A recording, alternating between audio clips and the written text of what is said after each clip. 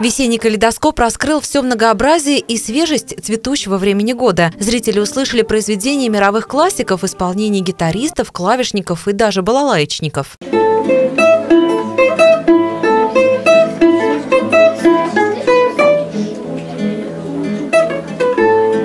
Среди артистов были и начинающие исполнители. Иван Слушкин покорил читателей библиотеки композиции собственного сочинения «Вальс воспоминаний». Прекрасным дополнением к концерту стала выставка книг об искусстве и музыке. Это мероприятие очень важное, полезное и для участников, так как вырабатывается опыт, отсутствие боязни зрителей и в целом полезно также и для зрителей, так как воспитывается вкус, музыкальное восприятие – умение слушать. В организации концерта сотрудникам библиотеки помогли воспитанники и педагоги из детской школы искусств номер один. Следующая встреча в рамках литературно-музыкального абонемента состоится в апреле.